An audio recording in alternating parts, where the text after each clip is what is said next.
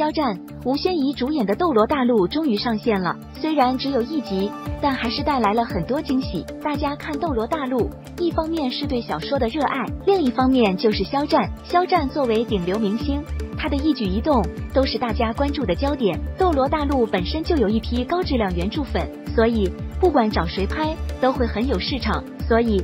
唐家三少一开始就没想过一定要用当红的明星，当时肖战还不是很火，片酬也比较低，再加上肖战本身就很符合唐三的人物形象，所以三少很快就定了他。现在肖战火了，斗罗大陆无疑锦上添花，原著的粉丝再加上肖战的影响力，很快就成为今年的爆款。只能说唐家三少的眼光不错，选择肖战担任主角。按他的话来说，不仅片酬合理。确实也是唐三的最佳人选，更何况以肖战现在的人气，估计娱乐圈找不出第二个更合适的人选。很多粉丝在知道肖战被选做主角的原因后，都感觉有些许扎心。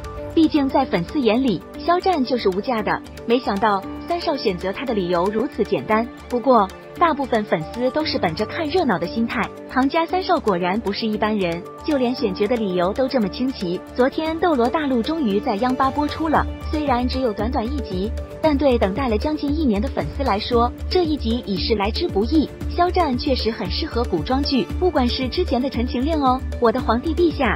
还是斗罗大陆，肖战都能灵活把握。唐家三少笔下的唐三是一个很天真、很可爱的男孩子，肖战恰恰很擅长这个。肖战能把角色驾驭的非常完美。其实我觉得唐家三少口中的片酬少，人又帅，不过是面对记者的玩笑话罢了。一部剧的选角最重要的就是符合人物形象。如果唐三是一个彪形大汉的形象，就算肖战片酬再便宜，也不会选他。三少的眼光独到。